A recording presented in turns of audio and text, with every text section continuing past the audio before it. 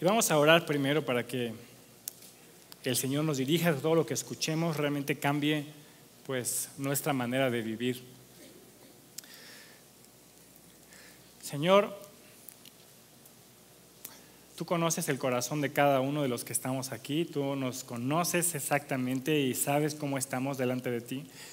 Y quiero rogarte que tu palabra, Señor, nos muestre nuestra necesidad, Señor, de ti, nos muestre tu propósito, limpie nuestros pensamientos, nuestros deseos, nuestros anhelos, Señor, que nos lleve a obedecerte.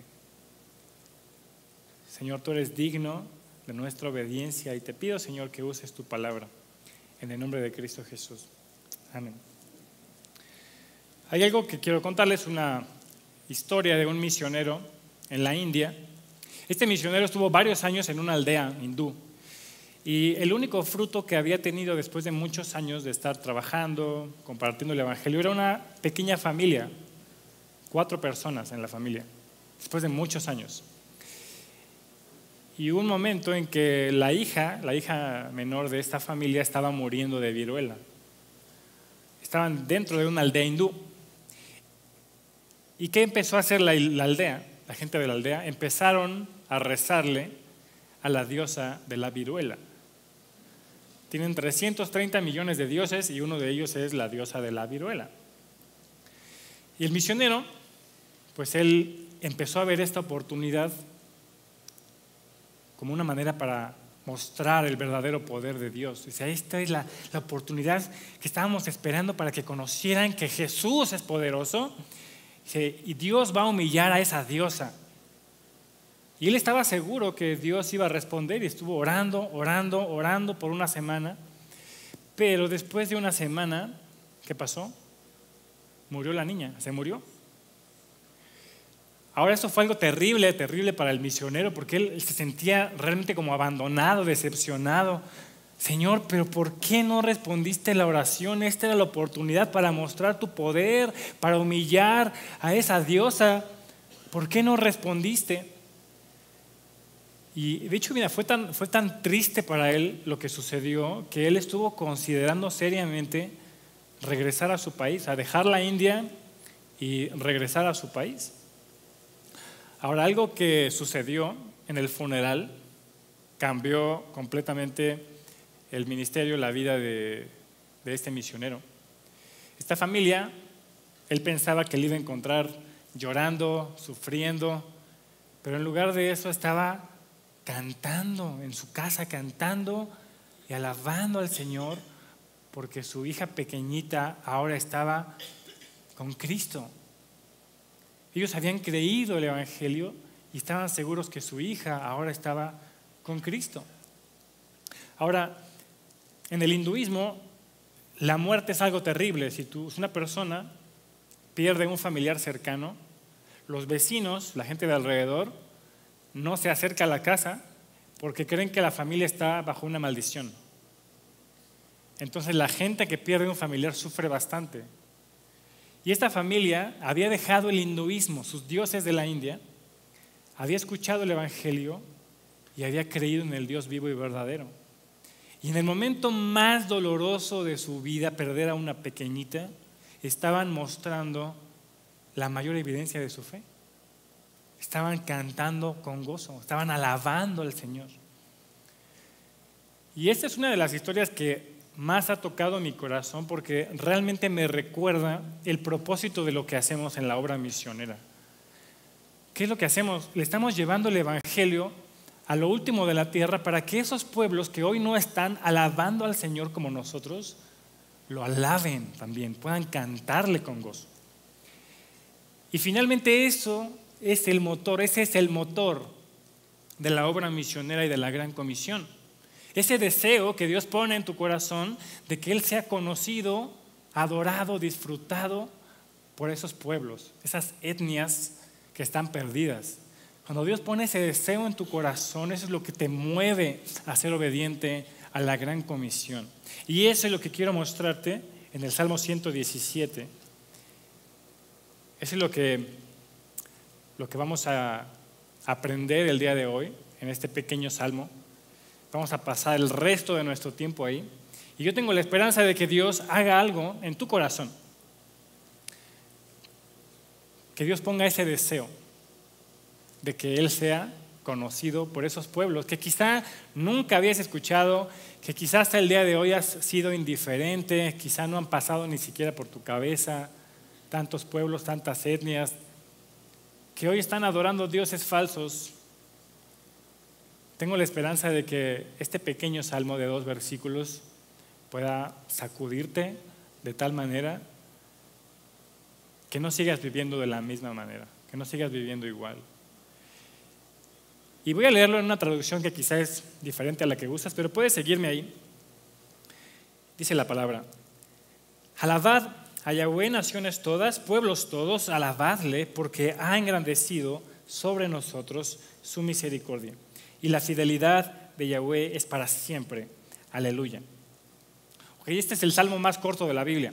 Y lo que vamos a hacer ahorita es verlo en tercera dimensión Vamos a verlo desde tres ángulos diferentes. La manera como vamos a estudiar este salmo es, primero, cómo se veía este salmo antes de que Cristo llegara, porque el libro de los salmos era el himnario del pueblo de Israel, es decir, los himnarios no los inventaron los bautistas, el pueblo de Israel tenía su libro de salmos con el que le cantaban a Dios en el templo, entonces ellos cantaban el Salmo 117. ¿Cómo se veía o cómo se ve el Salmo 117 después de que Cristo vino? Y cómo se ve el Salmo 117 dentro de la iglesia. ¿Cómo se debería ver este salmo en tu vida? En tu vida diaria, aquí dentro de la iglesia, en tu familia, cuando nadie te ve, ¿cómo se debería ver? Entonces lo que vamos a hacer con este salmo es realmente usarlo como un espejo de tu propio corazón. Al final de este mensaje, cuando empecemos a escarbar y a desmenuzar, tú debes estar seguro, segura, de que tus hábitos, los hábitos de tu vida cristiana, tus deseos, tus prioridades, tus anhelos, realmente están en sintonía con el propósito de Dios de darse a conocer a las naciones. Hoy tienes que estar seguro si realmente estás o no estás en el mismo canal con el Señor. Así que vamos a comenzar. Primero, ¿cómo se ve cómo se veía el Salmo 117 antes de que Cristo llegara? Alabad a Yahweh, naciones todas, pueblos todos, alabadle. Ahora, cuando tú lees este salmo, realmente parece como que le está dando una orden a las naciones, ¿cierto? Alaben al Señor, alábenlo. Pero Realmente en ninguna otra parte de la escritura tú vas a encontrar que se le ordena a las naciones paganas, a los pueblos paganos, que alaben al Señor cuando no lo conocen o no tienen ganas de hacerlo. Entonces, ¿cómo podemos entender este salmo que parece como una orden? Tenemos que entenderlo más como una invitación. Este salmo es la gran invitación a alabar a Dios. Y te lo puedo explicar muy sencillo. Si tú fuiste niño, niño normal, niño mexicano normal, seguramente tu mamá te obligó a comer las verduras que tú no querías, ¿cierto? Levante su mano, ¿quién fue sometido a ese martirio? Y era una ley. Si no te estoy preguntando, te las comes y te las tenías que comer, por lo menos de mi generación. Las nuevas generaciones se rebelan, ¿no? Pero en mi generación no había preguntas, te lo comías y te lo comías. Pero ¿qué sucedía cuando ibas a la casa de la abuela? Normalmente las abuelitas preparan la comida que nos gusta a los nietos. Y a veces no es tan saludable, pero, pero nos gusta. Mi abuela tenía una frase que decía, atragántate Matías, porque esto no es todos los días. cómetelo. Y ahí está. Ahora, tu mamá decía, come. Y tu abuela te decía, come. Come. ¿Qué diferencia hay? La comida, dice ella. No, sí, también la comida. ¿Qué diferencia hay? La primera es una orden. La segunda es una invitación, así, disfrútalo, disfruta la comida, atragántate, éntrale con gozo. Y el Salmo 117 no es una orden a las naciones, a los pueblos, a que alaben a un Dios que no aman, que no disfrutan. Es una invitación a que disfruten al Señor. Es una invitación a que lo conozcan. Y mira, escucha esto. Cuando uno alaba al Señor, cuando estás alabando, cantando aquí en la iglesia o en tu casa, tú deberías estar disfrutando a Dios. Porque si no lo disfrutas, si no estás disfrutando lo que haces aquí en la iglesia, si no estás disfrutando cuando cantas, cuando pasas tiempo con Él, realmente no lo estás alabando. Eso no es alabanza, porque la alabanza proviene de un corazón que se asombra por Dios, que lo disfruta, que encuentra su deleite en Él. Si no estás disfrutando a Dios, realmente no lo estás alabando, solo estás comiéndote las verduras porque tienes que comértelas. Entonces, si la alabanza proviene de un corazón que admira a Dios, que está asombrado por Él, este salmo no es solo una invitación a alabar a Dios. No es solamente una invitación a que vengan y lo alaben, es una invitación a que lo conozcan, que conozcan personalmente a este Dios. Y este salmo habla de naciones y habla de pueblos. Y este vocabulario nos llega a la mente pues algo específico. Pensamos quizá en países, quizá pensamos en ranchos, ¿no? en lugares geográficos, pero eso no era lo que se le venía a la mente al israelita que estaba cantando este salmo. ¿Qué estaban, qué estaban cantando ellos? ¿Qué se les venía a la mente? Ellos estaban pensando en personas, personas específicas. Nuestra Biblia traduce naciones para un judío, un israelita. Una nación era personas fuera de Israel. Todos aquellos pueblos fuera de Israel, ellos eran las naciones. El Nuevo Testamento lo usa, lo dice como gentiles, ellos son los gentiles. Y pueblos, el israelita estaría pensando en aquellos, aquellas familias, tribus, clanes. Quizá la única diferencia sería el tamaño. Para nosotros sería el tamaño, ¿no? Naciones, pueblos. Pero para el israelita daba exactamente lo mismo porque para ellos solamente había dos clases de personas, de la nación de Israel y todos los demás. ¿no? Eso era lo que ellos pensaban. Entonces, si ellos estuvieran cantando este salmo, pensando en la gente que venía a su mente, estarían diciendo, alaben a Yahvé los amorreos, alaben a Yahvé los jebuseos, alaben a Yahvé los filisteos y todos los feos, alaben a Yahvé los moabitas, los ninivitas, alaben a Yahvé todos nuestros enemigos, todos los que nos han oprimido, alábenlo los que nos odian y alábenlo a los que odiamos también. ¿Te das cuenta lo que significaba cantar este este salmo para un israelita? Estaba invitando a sus propios enemigos a que alabaran a su Dios. Realmente no creo que un israelita promedio lo estuviera cantando de corazón, porque estaban invitando a sus enemigos. Es como, imagínate, tu mamá te obliga a que invites a tu cumpleaños a todo tu salón, incluyendo a los que te caen mal, a la matadita, que no pasa las respuestas, incluyendo a todos los que te caen mal. Y ahí vas con las invitaciones, hoy te invito a mi fiesta, te invito a mi fiesta, te invito a mi fiesta, pero no se te ocurra llegar. No vayas a llegar, por favor. Toma, pero no llegues. Ese es el salmo para el pueblo de Israel. Vengan y alaben al Señor. No, no es cierto, no lleguen. No. Y más o menos así se veía el, el Salmo 117. Ahora, lo más interesante de este salmo es una pequeña palabrita que está en el versículo 2, el por qué. La gran invitación a las naciones se basa en esta palabrita, porque dice, alabad a Yahweh, naciones todas, pueblos todos, alabadle, porque ha engrandecido sobre nosotros su misericordia y la fidelidad de Yahweh es para siempre. Aleluya. Ahora, si lo dijéramos en palabras más sencillas, es como si le estuviera diciendo, miren, miren pueblos, naciones, lo que Dios ha hecho con nosotros.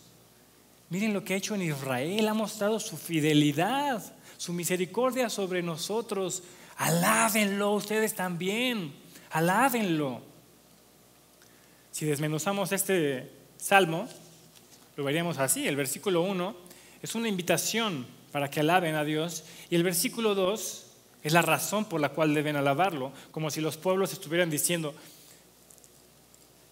¿por qué tengo que alabar a tu Dios? ¿qué de extraordinario tiene tu Dios para que yo lo adore? Israel respondiera, porque ha engrandecido sobre nosotros su misericordia. Mira, mira cómo nos ha tratado. Esa es la razón suficiente para que ustedes también lo alaben. Esa es la invitación del Salmo 117.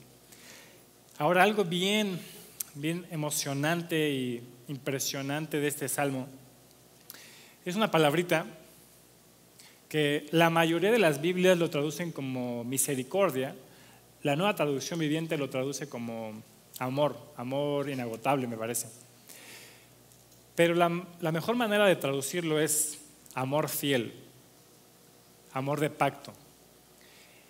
Y mi esposa y yo hemos decidido ponerle a uno de nuestros hijos Gesed, si Dios nos concede otro hijo, porque nos va a recordar que Dios es fiel aun cuando nosotros llegamos a ser infieles. Y una manera de entender esta palabrita, Gesed, es a través del libro del profeta Oseas. Una de las denuncias que Dios le hace a Israel, le dice, ustedes han dejado la Gesed, han roto el pacto. Y lo compara a una mujer adúltera que le fue infiel a su esposo, una mujer, una mujer que rompió el pacto matrimonial. Ustedes dejaron la Gesed. Pero lo más impresionante del libro de Oseas es que Dios se presenta como aquel que ha guardado Gesed. Dice, ¿cómo podré abandonarlos a ustedes? Mi corazón se conmueve dentro de mí. Yo he guardado la Gesed. Yo soy fiel. Y esa fidelidad, ese amor fiel, es lo que se canta en el Salmo 117. Alabad a Yahweh, naciones todas, pueblos todos, alabadle, porque ha engrandecido sobre nosotros su amor fiel. Entre paréntesis, aunque nosotros hemos sido infieles. Y la fidelidad de Yahweh es para siempre. Dios nos ha amado fielmente, ha mostrado fidelidad al pacto.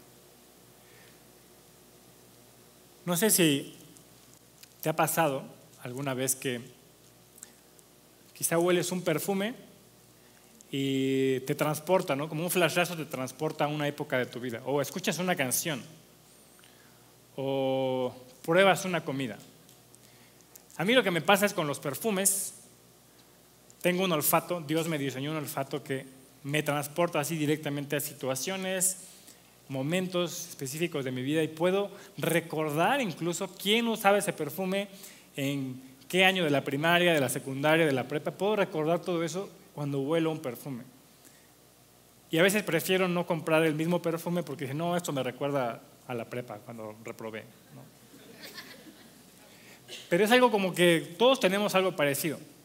Ahora, el Salmo 117, cuando el pueblo de Israel lo cantaba, debería hacer un flashazo que trajera a su memoria que Dios estaba siendo fiel a una promesa que le había hecho a Abraham en Génesis 12. ¿Qué le prometió a Abraham? Le dijo, te voy a dar una descendencia, te voy a dar muchos hijos y una gran nación. Esa nación era la nación de Israel. Dice, y en ti, en tu descendencia, en lo que nazcan de ti, voy a bendecir a todas las familias de la tierra. Es decir, Dios tenía un propósito misionero desde aquí. Iba a formar una nación con el propósito de alcanzar otras naciones. La gran comisión de Mateo 28 no es el plan B de Dios. No es como que dijo, ¿y ahora qué voy a hacer? No? Mi pueblo me rechazó, rechazó al Salvador, ¿y ahora qué voy a hacer? Bueno, voy a alcanzar otras naciones. O sea, Jesús ya se iba. Dice, ah, por cierto, por cierto, vayan y hagan discípulos de todas las naciones. Se me estaba olvidando, por cierto. No, la gran comisión no es el plan B. Dios escogió una nación para hacer de bendición a todas las familias de la tierra. Él estaba pensando alcanzar a las naciones. Y el Salmo 117 es ese flashazo. ¡Fum! Dios siempre ha querido alcanzar a los pueblos, a las naciones. El Salmo 117 es un salmo 100% misionero. 100% misionero. Nos muestra el corazón de Dios de darse a conocer a los pueblos perdidos. Pero si has pasado tiempo en el Antiguo Testamento, te vas a dar cuenta de que Israel no tenía el mismo corazón misionero. Ellos no estaban interesados en que las demás naciones y pueblos conocieran a su Dios y lo alabaran. Y hay un ejemplo que define el corazón misionero de Israel. ¿Quién es? Jonás. ¿Qué le dice Dios a Jonás? Predícale a quién? A los ninivitas. ¿Quiénes eran los ninivitas? Eran un pueblo pagano que tenía otros dioses, muy parecido a la gente de la India de hoy. Predícale a los ninivitas. Pero Jonás no estaba muy interesado en que los ninivitas dejaran sus dioses y creyeran en el Dios verdadero. Entonces, ¿qué hace? Se va hacia Tarsis. Ahora, quiero que pienses en Jonás como un, un israelita normal que va al templo y de repente el que está dirigiendo la adoración en el templo dice, vamos a cantar el Salmo 117. Ahí está Jonás, ¿no? Al final. Alabad a Yahweh, naciones todas, pueblos todos, alabadle. Y luego el que, el que está dirigiendo la alabanza dice, bueno, vamos a cantar el Salmo 67, que de hecho es lo mismo que acabamos de cantar hace rato. La canción que cantamos de que los pueblos te alaben está basada en el Salmo 67. Dice, que te alaben, mejor no canto, los pueblos, ¿no? Todos los pueblos te alaben. Imagínate a Jonás ahí. Te alaben los pueblos, oh Dios, todos los pueblos te alaben. Y Dios le dice a Jonás, bueno, ve y predícale a los ninivitas. No, no, espérate, Señor. Aguanta las carnes, espera. ¿Y qué hace? Se va hacia otro lado. No estaba interesado en que conociera a su Dios. Ahora, lo peor de eso, lo peor de esto sería si en la misma iglesia pasara lo mismo. Si pusiste atención a los cantos que cantamos hoy, todos están dirigidos a llevarnos a la memoria de que Dios merece ser adorado por cada nación y cada pueblo. Cantamos que toda nación te adore, que toda nación te conozca, Cantamos una canción que decía, heme aquí, envíame a mí. ¿Y cómo la cantamos? Heme aquí, envíalo a Él.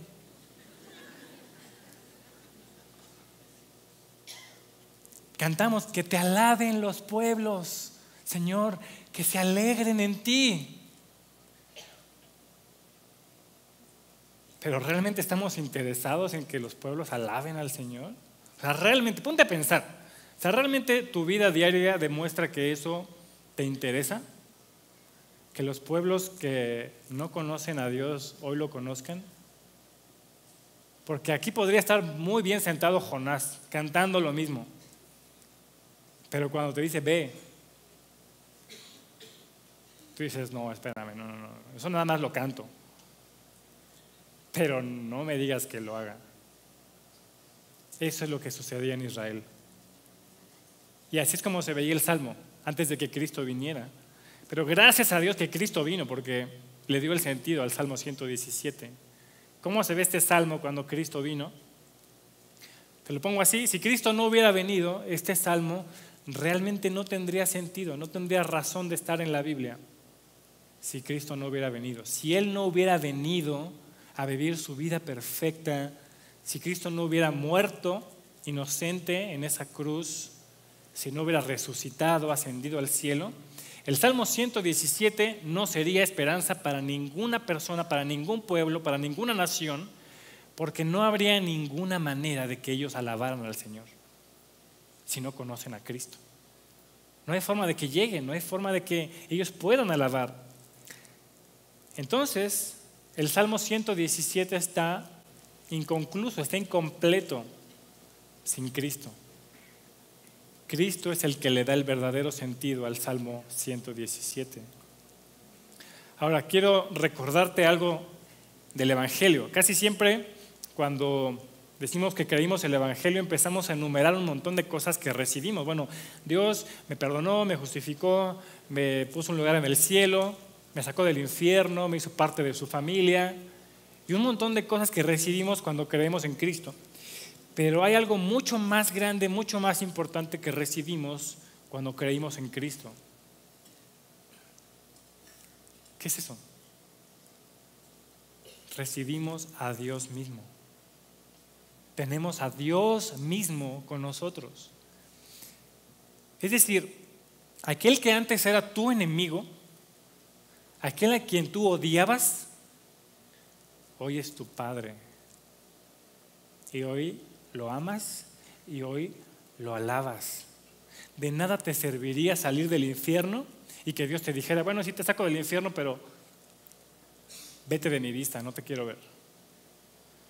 Bueno, sí te dejo entrar al cielo, pero ¿sabes qué? Aléjate porque no quiero saber nada de ti. No, lo más grande que recibimos al creer en Cristo es a Dios.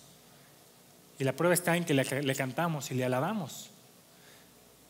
Lo que acabamos de hacer hace rato cantándole al Señor es solamente gracias a lo que Cristo hizo por nosotros. Eso fue lo que logró. Le cantamos, le alabamos por su sacrificio en la cruz, porque Él nos salvó. No nos quedamos sentados allá, ah, soy salvo, no. Nos llevó a Dios. Y el apóstol Pedro nos lo dice de esta manera, porque también Cristo padeció una sola vez por los pecados, el justo por los injustos, para llevarnos a Dios, para llevarnos a Él, para alabarlo, para disfrutarlo. Eso es lo que hizo Cristo, nos llevó a Dios y hoy lo estamos alabando. Entonces, si entiendes esto, si me estás siguiendo hasta ahora, el Salmo 117 encuentra sentido solamente con Cristo, porque Él es el que nos lleva al Padre para alabarlo a Él. Y el Salmo 117 era una invitación a las naciones, a los pueblos, a que alabaran, pero el Salmo 117 no les decía a las naciones cómo hacerlo, ni cómo llegar. Ahora imagínate, imagínate que te llega una invitación a una boda. De hecho, me acaba de llegar una invitación de mi hermano que se va a casar en, eh, a finales de este mes. Es una invitación digital, ahora las mandan por, por teléfono y te llega todo. Y te dice quién se va a casar, te dice cuándo se va a casar, te pone todos los datos. Imagina que recibes una invitación y en esta invitación no viene la dirección, dónde va a ser la fiesta. Estás invitado. Te dice, es a las 3 de la tarde. Pero no viene la dirección. Y volteas y tampoco ni el croquis ni nada. Y dices, pero ¿cómo voy a llegar? Bueno, el Salmo 117 era una invitación. Naciones, pueblos, vengan, alaben al Señor. Pero no venía en la dirección de, pero ¿cómo? Cuando viene Cristo, Él dice, yo los voy a llevar. Yo soy el camino. Yo soy el camino al Padre. Entonces no hay manera en que esos pueblos esas naciones lleguen a alabar a nuestro Dios, al Dios que tú amas, no hay manera de que ellos puedan alabar, a menos de que la iglesia les lleve a Cristo, de que conozcan a Cristo. No van a escuchar de Cristo, creer en Cristo hasta que la iglesia les lleve a Cristo. Es la única manera. Cristo es el cumplimiento de lo que Dios le prometió a Abraham. En ti serán benditas todas las familias de la tierra. A través de Cristo esas familias realmente van a poder alabar al Señor, recibir esa bendición. Y la gran invitación del Salmo 117, al final es la gran comisión, de Mateo 28. Esa es la gran comisión. Finalmente, predicarle el Evangelio a un perdido es invitarlo a que conozca a Dios y finalmente va a alabarlo, ¿cierto? No solamente predicamos el Evangelio para sacar gente del infierno, no, uno más, uno más, no. La gente que cree en el Evangelio termina alabando al Señor. Entonces la gran invitación es la gran comisión. Ese es el trabajo, llevar a la gente a que alabe al Señor. Tú y yo estábamos ahí. En el Salmo 117 estaba tu nombre. Ahí estaba. Richo, alaba al Señor. María, alaba al Señor. Daniel, Juan, Pedro, Carla, alaba al Señor. Y tú y yo jamás hubiéramos llegado, jamás hubiéramos encontrado la dirección o el camino si Cristo no hubiera llegado a nuestras vidas. Nunca hubiéramos podido tener el privilegio de cantarle, levantar nuestras manos, llorar cuando estamos cantando. Jamás hubiéramos tenido ese deleite, esa satisfacción, ese gozo cuando cantamos si Cristo no nos hubiera rescatado. Tú y yo estábamos ahí, en esas naciones. Y hoy lo alabamos, ¿cierto? Ahora ya vimos cómo se veía este salmo antes de que Cristo llegara, cómo se ve este salmo una vez que Cristo llegó. Ahora, ¿cómo se ve este salmo dentro de la iglesia? ¿Cómo se debería ver el Salmo 117 aquí en Horizonte o en tu propia vida, en tu familia? ¿Cómo se ve al día a día? El apóstol Pablo tomó el Salmo del Antiguo Testamento y lo citó en Romanos. Y el capítulo 15 de Romanos habla precisamente del trabajo de llevar el Evangelio a los gentiles fuera del pueblo de Israel. Entonces este salmo lo está dirigiendo específicamente a los cristianos, a nosotros. Dice, alabad al Señor todos los gentiles o todas las naciones y alábenle todos los pueblos. La pregunta es, ¿cómo van a alabar al Señor? ¿Cómo van a alabarlo esas naciones, tribus, culturas? ¿Cómo lo van a alabar? La única manera de que ellos alaben al Señor es de que conozcan a Cristo. Y para que ellos conozcan a Cristo, tú y yo debemos llevarles a Cristo. No hay un atajo, no hay otro camino. No van a alabar a nuestro Dios a menos que conozcan a Cristo. Y te puedo citar, puedo parafrasear a Pablo en Romanos 10,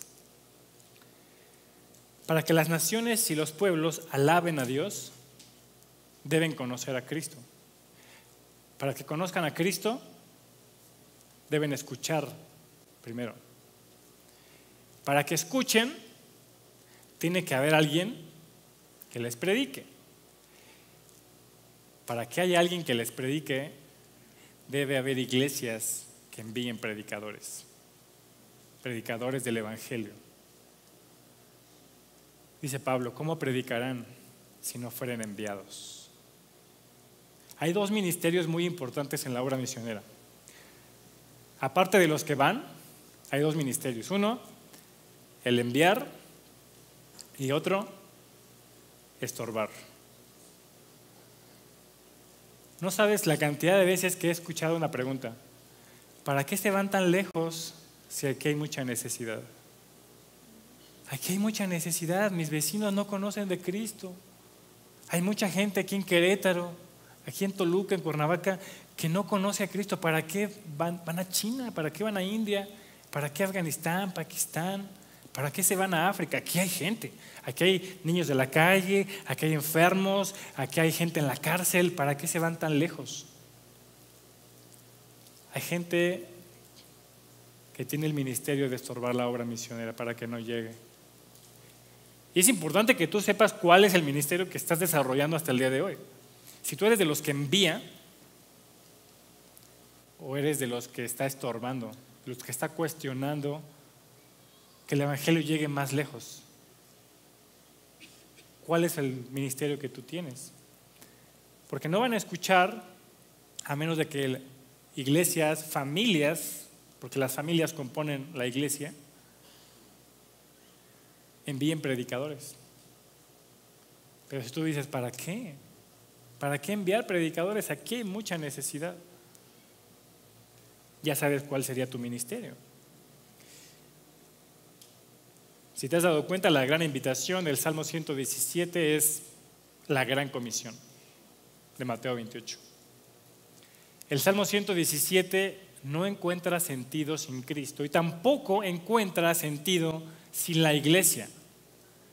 Lee el Salmo 117 y quita la iglesia, no tiene sentido. ¿Por qué? Porque a nosotros los creyentes, a ti, a ti, a cada uno de los que está sentado, que ha creído en Cristo, se nos ha encomendado el Evangelio. Y sin el Evangelio las naciones no van a alabar al Señor. No tienen manera, no hay forma de que lo hagan. La iglesia es la que también le da sentido al Salmo 117. Primeramente Cristo y luego su iglesia. Ahora te voy a mostrar algo, te voy a mostrar unas imágenes para que más o menos te des cuenta de cómo está la realidad entre los pueblos no alcanzados al día de hoy. Y cuál es la responsabilidad que tenemos como iglesia, como creyentes, de abrir nuestros ojos y darnos cuenta de que no todo es Querétaro, no todo es México, sino hay gente que nunca ha escuchado de Cristo. Según la ONU, hay 194 países hasta este momento, que este dato está cambiando constantemente, porque hay países que se dividen, países que se unen. Entonces, este dato realmente no es tan importante para la obra misionera.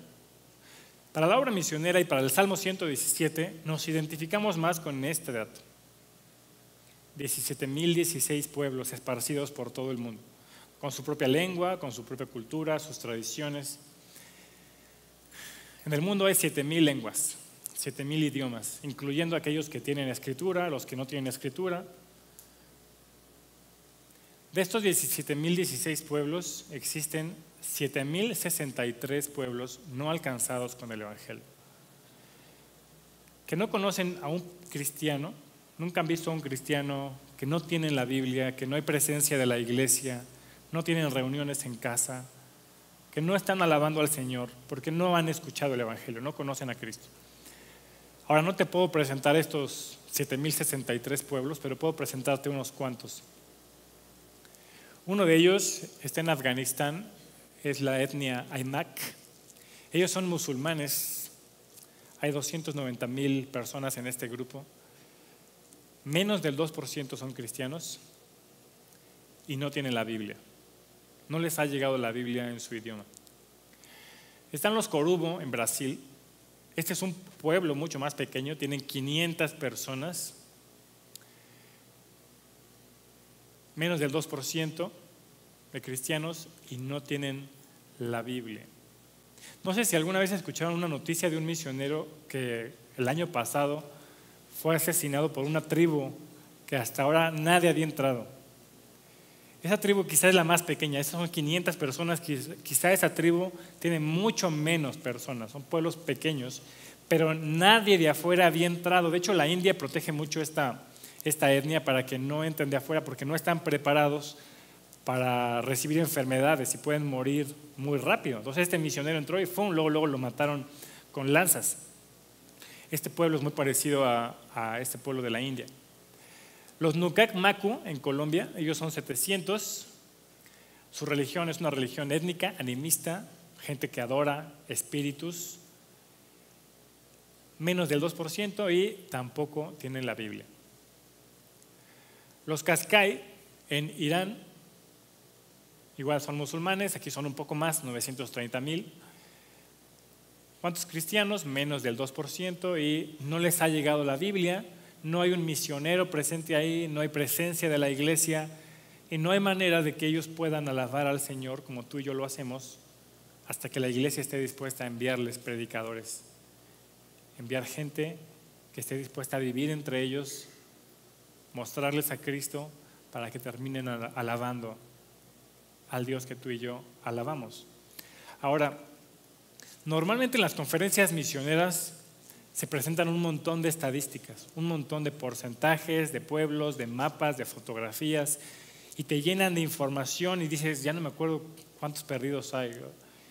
Es tanta información. Y algo es cierto, algo que decía Miguel Núñez en una conferencia que fui, una conferencia del Espíritu Santo. Él decía, las estadísticas nunca han enviado a ningún misionero.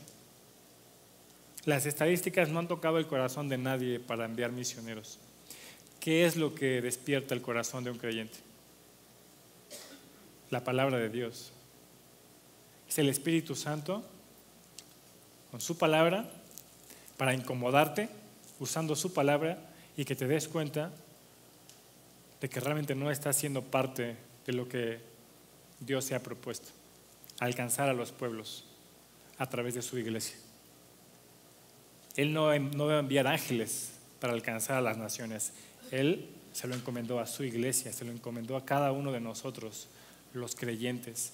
Entonces es la palabra de Dios la que tiene que sacudirnos, hacernos sentir incómodos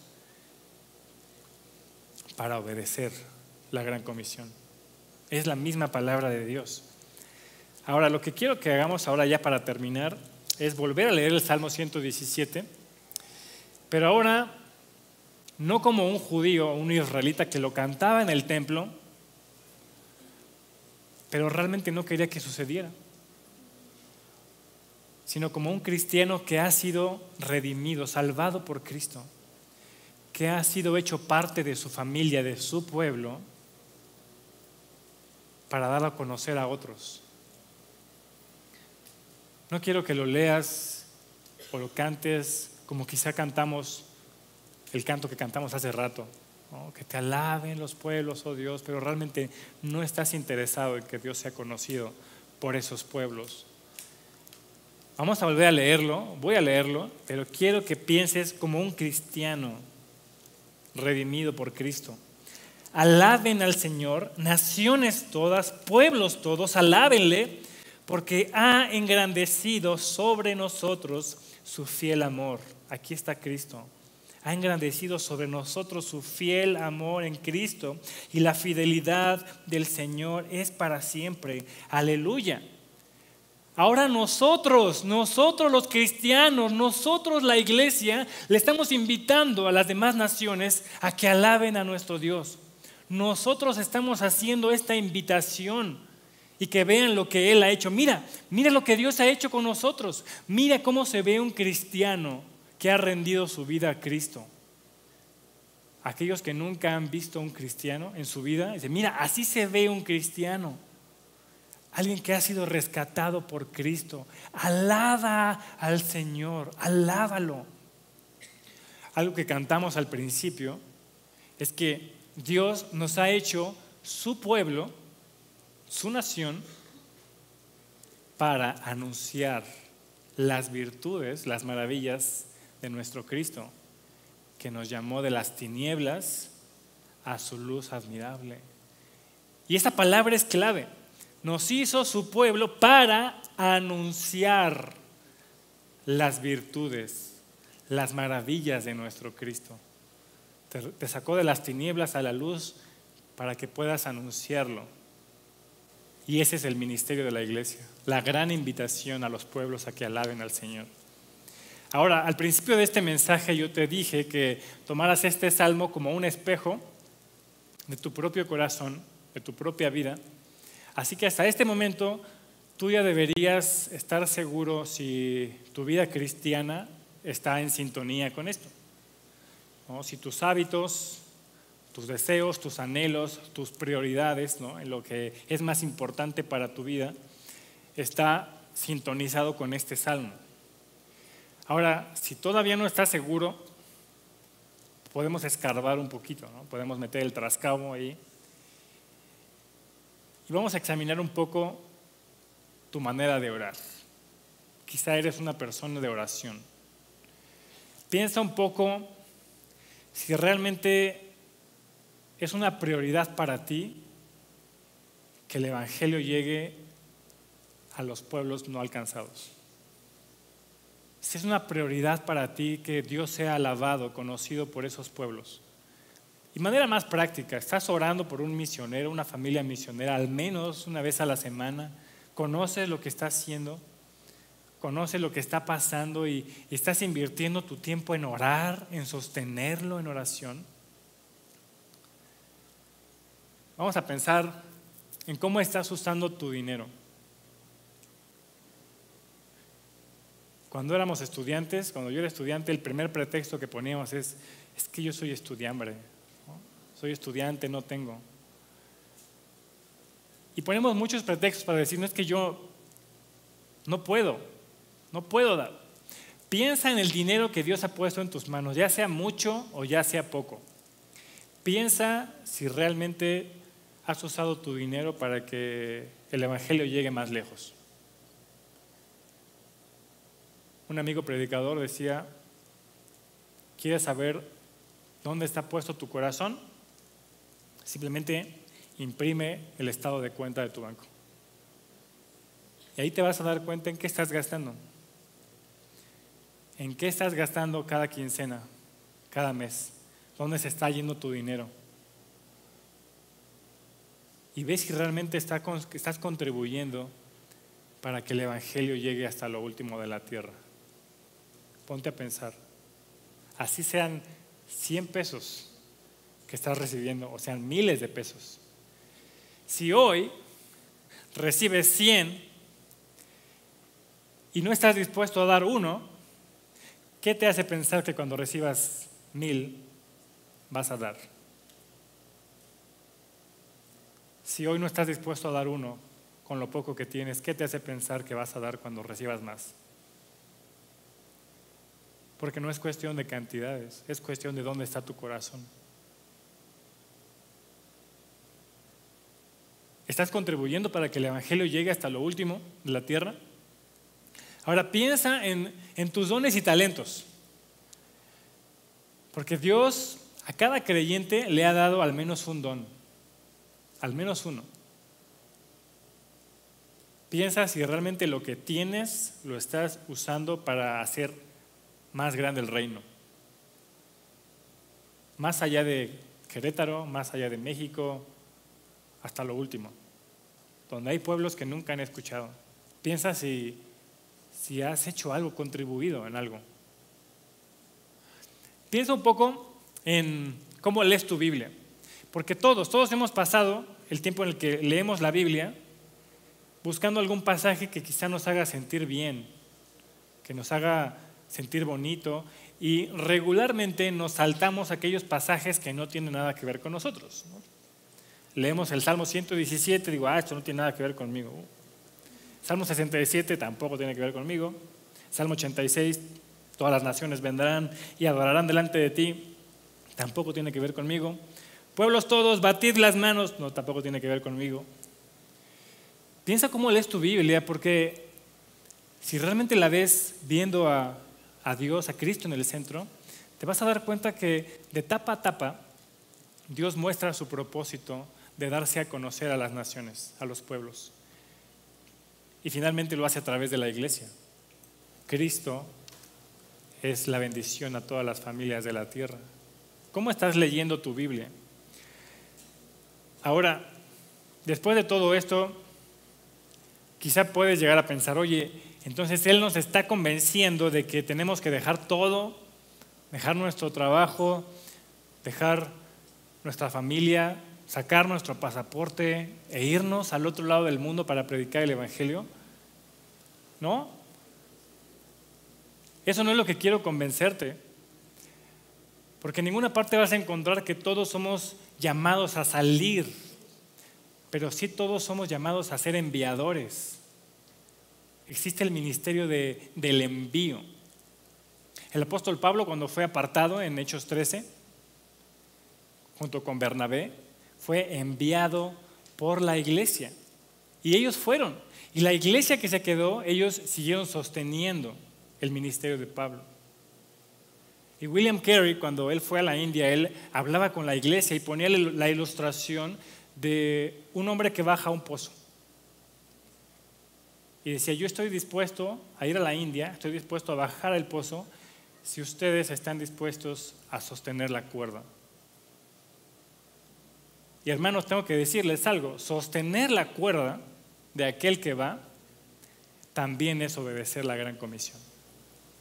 También es obediencia cuando tú inviertes tu vida, tu oración, tu dinero, tu esfuerzo para que alguien más vaya y que pueda predicar el Evangelio. Si Dios te convence a través de esta predicación de que tú eres uno de los que tiene que ir, gloria a Dios.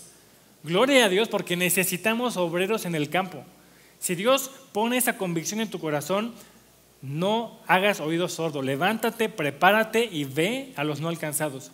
Pero si Dios no pone eso, eso no quiere decir que no eres parte de la obra misionera. Porque todos somos llamados a tener un corazón misionero. Todos somos llamados a tener este corazón.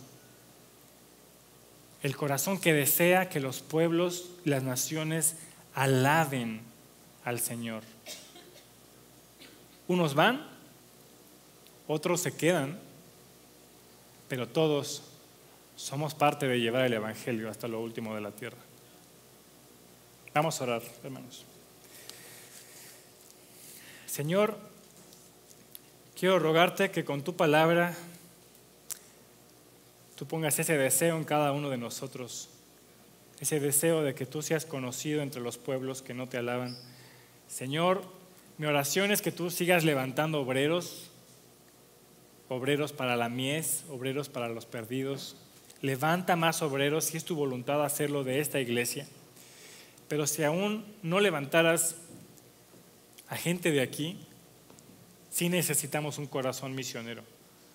Un corazón que realmente tenga un peso por aquellos pueblos que nunca han escuchado de ti y que no te están alabando. Señor, no nos dejes seguir viviendo vidas tan cómodas, centradas en nosotros mismos.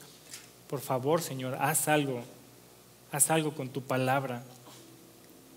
Sácanos de nuestra zona de comodidad. Llévanos a ser obedientes a ti. Señor, que la oración de nuestro corazón sea, te alaben los pueblos, oh Dios, todos los pueblos te alaben. Que se alegren en ti las naciones. Señor, todas las naciones vendrán delante de ti y te adorarán, porque tú eres grande y hacedor de maravillas, solo tú eres Dios. Señor, úsanos, usa a cada creyente, a cada familia para que el Evangelio llegue más lejos. Gracias por el privilegio que nos das de servirte de esta manera y, y úsanos, Señor, para que tu reino se expanda. En el nombre de Cristo Jesús oramos. Amén. Dios los bendiga, hermanos. Póngase de pie, por favor, vamos a orar.